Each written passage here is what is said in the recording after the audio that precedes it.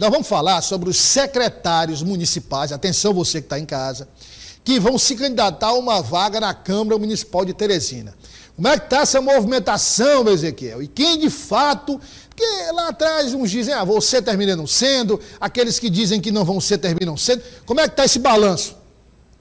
Vamos lá, Douglas. Mais uma vez, boa tarde a você, boa tarde a todos que nos acompanham. Exatamente, Douglas. Pelo menos 15 secretários do prefeito Doutor Pessoa, né, da atual gestão, a qual administra a Prefeitura de Teresina, deverão deixar os seus cargos né, para que possam, claro, colocar o seu nome à disposição do eleitorado teresinense e, claro, possam concorrer a uma das 29 cadeiras da Câmara Municipal de Teresina. Sobre esse assunto, Douglas, nós fizemos então um levantamento né, para saber quem são esses secretários? Quem serão também essas pessoas que irão tomar é, e ao, ao, lugar, no caso, né, assumir o lugar destas pessoas em si? Mas primeiramente, Douglas, nós vamos aqui conferir, né, no caso, como é que vão ser. Porque assim, Douglas, as várias siglas, no caso, né, que estão apoiando a Prefeitura de Teresina, a claro, o prefeito doutor Pessoa, a sua reeleição. A gente pode citar aqui alguns, que como é o caso do PRD, como o próprio PL, como o próprio Avante, o Democracia Cristã.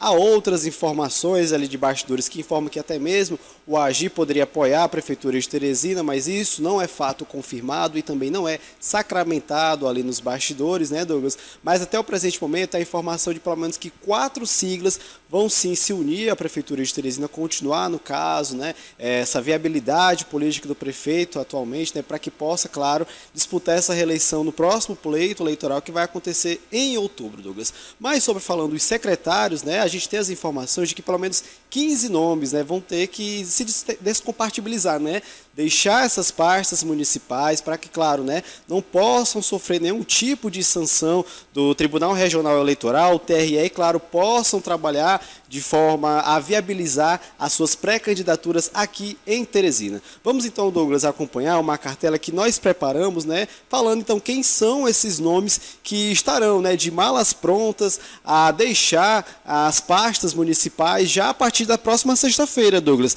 Sexta-feira, dia 5 de abril, que é o último dia, né, para que aconteça essa descompartibilização e claro, né, eles possam se filiar a siglas partidárias e colocar o seu nome à disposição. Vamos lá, Douglas. A gente tem o primeiro nome, que é Roncalli Filho, que é superintendente da SAAD Centro. Também temos o nome de Juca Alves, né, que é outro nome também do secretariado do prefeito, doutor Pessoa. Ele, então, que atualmente está na SAAD Sul, né, a SAAD Sul, do, colocando o seu nome à disposição. Também temos Gustavo Gaioso, Douglas. Hoje ele estava na Câmara Municipal de Teresina, conversamos ali nos bastidores. Eles não, ele não quis dar muitos detalhes, mas ele nos disse que vai continuar na base do prefeito doutor Pessoa, mas ele não deu detalhes sobre como é que vai ser o futuro partidário dele, se será no Partido Liberal, o PL, ou se será no PRD. Temos aqui também, Douglas, é, pode voltar a cartela, por favor? Temos também o nome de James Guerra, né, que está atualmente na Sendu, e também temos Carla Begé, que também é um nome que colocou seu nome à disposição em 2020, é irmã do secretário da CEMEL, é, Renato Begé. Ainda não temos informações se ela vai seguir os mesmos passos do irmão no PRD ou se vai também para algum outro, dos outros partidos da base do prefeito Doutor Pessoa. E temos, claro, né, Renato Begé, que já se filiou ao PRD, também vai sair da Secretaria de Esportes, a CEMEL. Temos Neto do Angelim também, que está na Fundação Municipal de Cultura, Monsenhor Chaves, né? Ele também vai deixar a Prefeitura de Teresina para que, claro, possa colocar seu nome à disposição. Temos também Valdemir Virgino, que também sairá da parte da Juventude Municipal. Alan Cavalcante, que atualmente está na Sincasp, é um dos, ali que um dos que defendem a atual gestão do prefeito do Pessoa e também será um reforço ali para esse PRD, né? O PRD que nasce já grande com pelo menos oito, é, perdão, sete é, vereadores de mandato a disputar a, a, a Câmara Municipal de Teresina. Também temos Reinaldo Ximenes ou Ana Célia Douglas. Por que esses dois nomes? Porque ainda não temos as informações precisas de qual dos dois vai sair, né, da SEMEC, que é a Secretaria Municipal de Educação de Teresina, para que possa colocar também esse nome à disposição. Atualmente, Reinaldo Ximenes, ele está é, na, na é, SEMEC, né, assumindo esse papel, e é, esses são os nomes, né, Douglas, que temos atualmente, né, da, que vão deixar descompartibilizar para que, claro, né, Douglas, possam ali colocar o nome à disposição. São nomes de expressividade. Também temos outros nomes. Olha, Luiz André, que atualmente está na não é essa área de Centro Luiz André, ele assume, ele está na pasta da, do Meio Ambiente, né, Secretaria Municipal de Meio Ambiente, a SEMAN.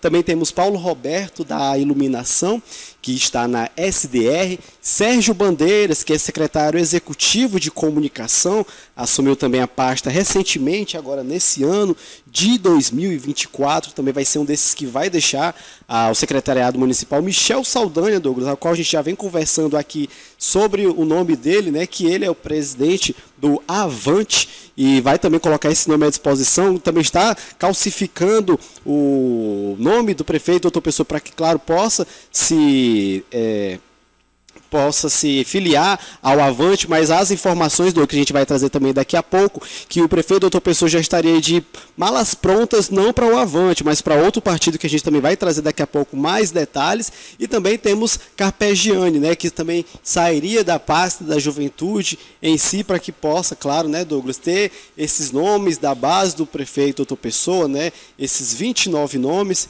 que possam aí viabilizar, né, é, possam viabilizar seus nomes à disputa é, proporcional aqui em Teresina, Douglas. Então, são nomes de expressividade que, como a gente já apontou aqui, são pelo menos 15 nomes que deixarão esse secretariado até a próxima sexta-feira, dia 5, e claro, né, possam aí é, colocar seu nome à disposição do eleitorado teresinense, mas as informações, Douglas, que também outras pessoas poderiam deixar é, a, o secretariado municipal do prefeito, doutor Pessoa, haja claro, porque o partido, o Avante, Douglas, e também outros partidos ainda não fecha, estavam fechados as suas, suas bases, né, as suas chapas proporcionais, e poderia acontecer até mesmo outros nomes desse secretariado que poderiam deixar a Prefeitura Municipal de Teresina, né, essas pastas municipais, para que, claro, possam somar forças importantes ao prefeito, doutor Pessoa, que vai tentar a sua reeleição, Douglas. Obrigado, Ezequiel. Daqui a pouco você volta.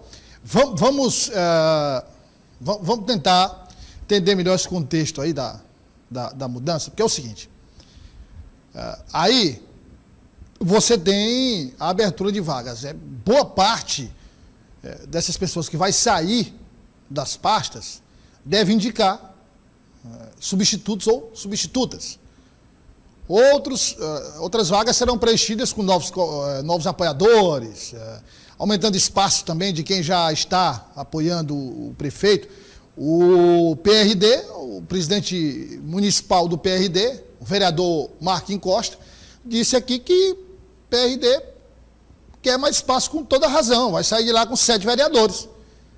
Essa semana, até o final da semana, quando fecha a janela partidária, vai sair com seis vereadores, sete vereadores. Sai um dos partidos, dos maiores partidos da Câmara, tem que ter um espaço maior. Vamos lá. Olha só. Roncalli Filho, nome competitivo.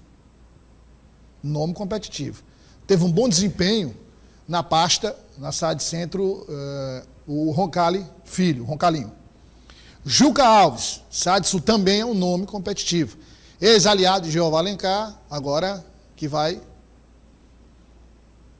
pleitear uma vaga na Câmara Municipal na base do doutor Pessoa. Gustavo Gaioso, é, Sá de Leste também, já foi vereador, é um nome competitivo, que vai é, concorrer.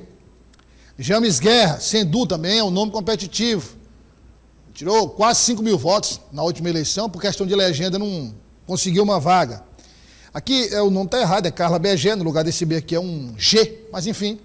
Carla Begé, aí é tem aquela polêmica, meu primo, entre Carla Begé e Renato Begé. São irmãos, vão disputar vagas. A jornalista Carla Begé, a secretária, segue firme com a sua pré-candidatura. Vamos ver como esse, esse impasse na família Begé vai se resolver. Aqui, Renato Begé, eh, da CEMEL, vereador de mandato, vai buscar a reeleição pelo PRD. Né? Neto do Angelim, Fundação Cultural Monsenhor Chaves, vereador, buscar reeleição. Valdemir Virgínio também. Alain Cavalcante, Sencasp, um nome muito forte, porque desenvolveu esse trabalho na Sencasp, porque é uma pasta que tem uma capilaridade muito grande, atua em diversas áreas. Então, é uma área, são áreas sociais, de benefícios. Então, o Alain Cavalcante é o nome, inclusive teve aquela polêmica, você lembra, nós tratamos aqui, uma certa ciumeira do secretário da Sencasp, vai pleitear uma vaga na Câmara Municipal. Aqui, Reinaldo eh, ou Ana Célia, SEMEC, bota o S lá, o E, aliás. Também, aí a próxima cartela, vamos lá, a próxima tela. Luiz André, vereador, vai buscar a reeleição, era do meio ambiente. É sai de centro, não. O Luiz André é do meio ambiente. Secretaria do meio ambiente. Paulo Roberto da Iluminação. Nome forte também, já foi vereador na gestão Mano Fé. Vai buscar a reeleição, agora vai buscar a eleição, né? É candidato, um nome muito forte em Teresina. Sérgio Bandeira, que é da Secretaria de Comunicação. Também um nome forte, principalmente da região do Disseu, meu primo. O grande Disseu. Sérgio Bandeira, jornalista, um nome muito forte também. Michel Saldanha, secretário de governo, ocupou outros cargos, presidente do Avante, também entra na disputa. E o Carpegiani também nessa disputa. Olha, são nomes né, que às vezes você coloca dois, três, quatro, cinco né, da, do primeiro escalão, é, fortes, né, e quase todos você viu aí, quase todos são extremamente competitivos. Vou até afastar um pouco aqui para você que está em casa acompanhar. É, são nomes extremamente competitivos. Então, a, a, a, base do prefeito, a expectativa é que a base do prefeito, doutor Pessoa, a, a, a disputa pelas vagas na Câmara Municipal seja muito acirrada. Volta lá para o primeiro, o Diop. Primeiro, só para gente passar de novo. Roncalli Filho, Juca Alves, Gustavo Gaioso, James Guerra, Carla Begé, 5. A próxima tela. Tem mais 5, né? 10. E a última tela, mais 5. 15 nomes do primeiro escalão do prefeito Doutor Pessoa.